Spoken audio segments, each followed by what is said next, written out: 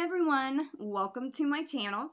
I am here to announce my entry into the hashtag GSG cucumber contest.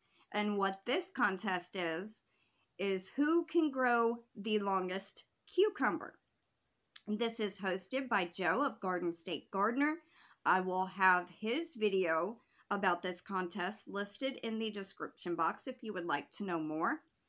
This is video one of three, and this is my entry video. He does have nine seeds you can pick from uh, for this contest, and four that you have to subtract a certain, uh, I think four uh, minus four from the other seeds. So, this contest ends on August 7th and the seeds that I have chose for this contest is the Cucumber Marketmore 76. These are from Baker Creek. They are heirloom seeds. And they, yeah.